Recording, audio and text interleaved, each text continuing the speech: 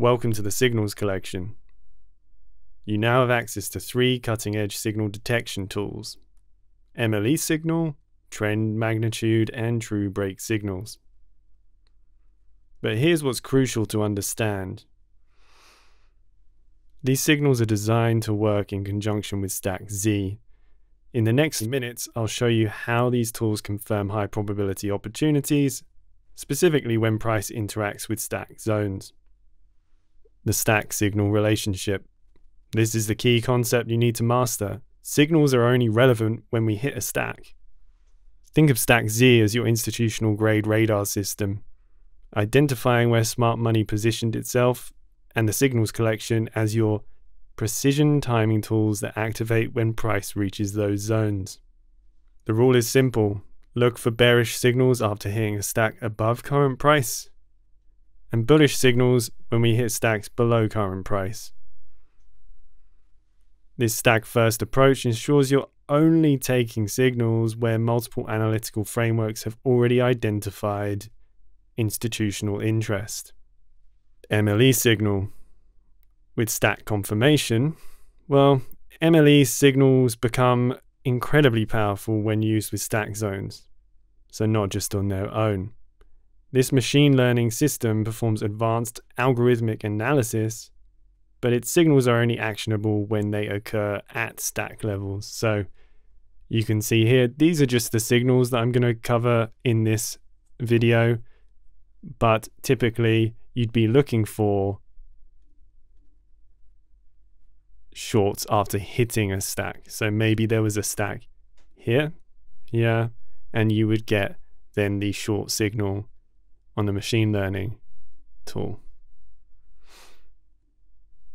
And vice versa for longs. If we had a untested bullish stack, when price hits a blue stack above and MLE signal generates a bearish pattern with high confidence shown through those color coded gradient signals. That's your institutional grade short opportunity.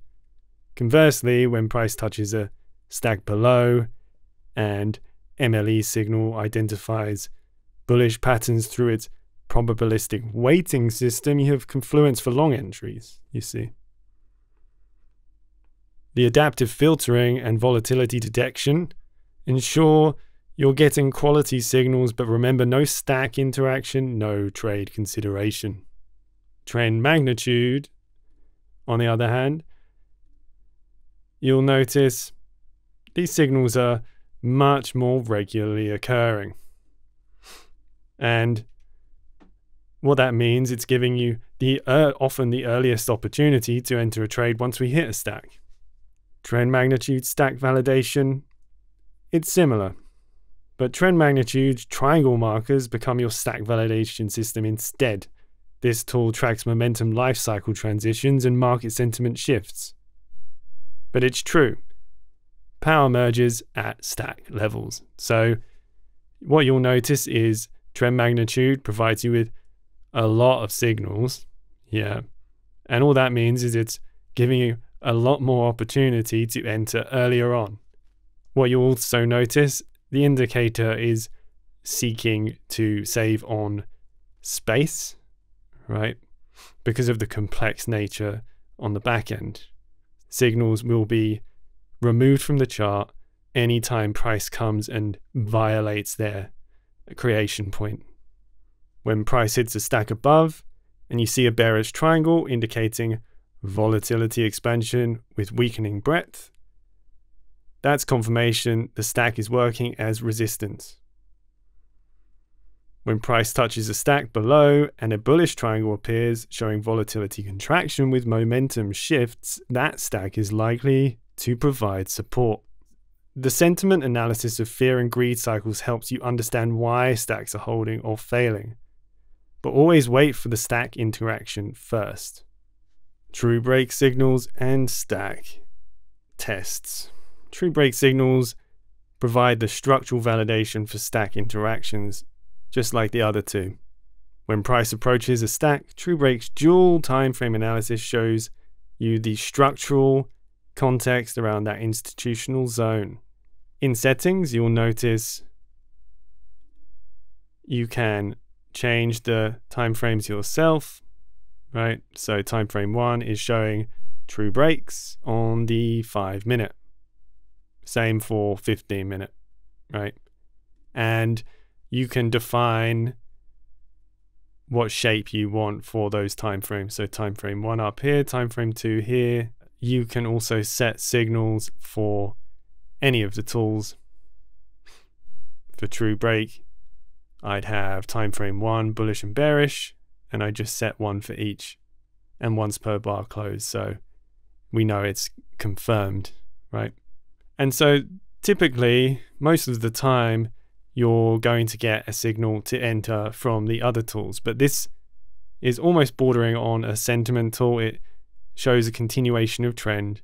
And you know, when you get these breaks, it's typically going to be much more potent than, uh, say, your typical order block retest or uh, creation, right? Because the complexity and decisiveness from the market to actually break and cause these shifts is much more significant.